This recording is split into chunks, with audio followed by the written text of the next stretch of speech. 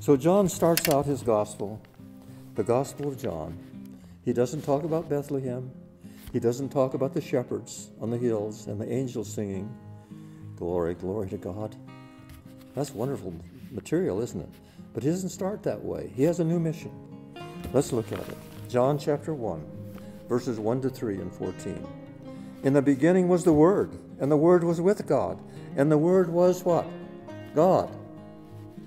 The same was in the beginning with God. All things were made by Him, and without Him was not anything made that was made. And then in verse 14 it says, it tells us who the Word is the Word who is God. And the Word was made flesh and dwelt among us. And we beheld his glory as, of, as the glory of the only begotten of the Father, full of grace and truth. So in the beginning was the Word, and the Word is God. He is God.